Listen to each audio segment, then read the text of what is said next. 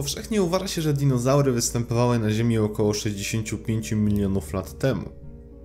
Jednakże ich egzystencja została gwałtownie ucięta, gdy w Ziemię uderzyła masywna asteroida i na jakiś czas pozbawiła planetę życia. Okazuje się jednak, że istnieją dowody na to, że część z nich mogła przetrwać, a nawet koegzystować z ludźmi.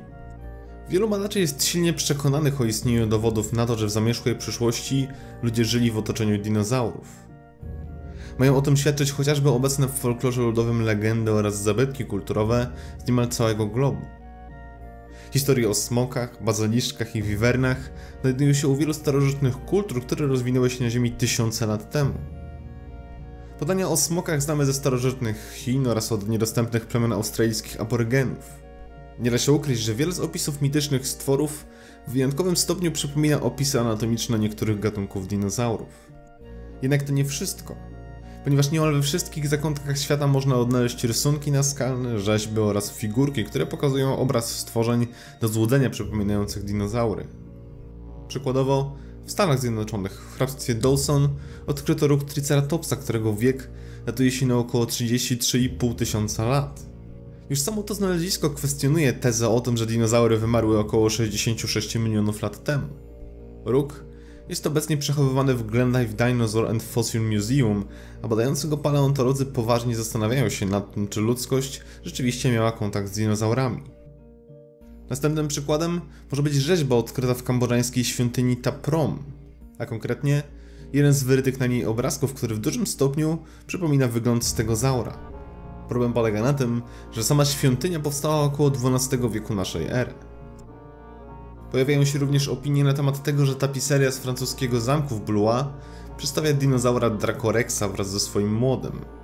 Nie da się ukryć, że w tym wypadku wygląda to nieco naciąganie, ale podobieństwo jest co najmniej interesujące.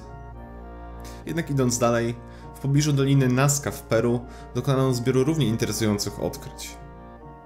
Jednym z najbardziej kontrowersyjnych jest starożytny kawałek materiału włókienniczego, którego wiek sięga 700 roku naszej ery. Jak widać, na materiale wyszyto stworzenie podobne do dinozaura. Warto zresztą dodać, że miejscowe wierzenia deifikowały postać piżastego węża zwanego przez nich Quetzalcoatl. Czy oznacza to jednak, że ludność Nazca miała kontakt z żywymi dinozaurami? Ostatnim z kontrowersyjnych odkryć są kamienie z Ika, na których wyryto różnorodne wzory, wśród których znajdują się m.in. wizerunki ludzi obcujących z dinozaurami takimi jak brontozaury, tyranozaury, stegozaury oraz pterodaktyle. Zgodnie z opinią koneserów, klejnotem wśród tej kolekcji jest scena, w której ludzie używają toporów do zabicia dinozaura.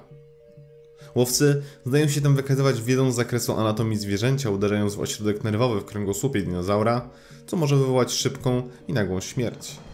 Jakie jednak mają się te dowody do rzeczywistości? Kamienie Ika zostały uznane za oszustwo i oficjalną gałąź przemysłu turystycznego, choć nadal istnieją badacze wierzący w ich autentyczność.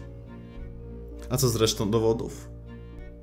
Podobnie jak większość niewygodnych artefaktów przepisujących całe dogmaty historyczne, zostały one zapomniane i przemilczane.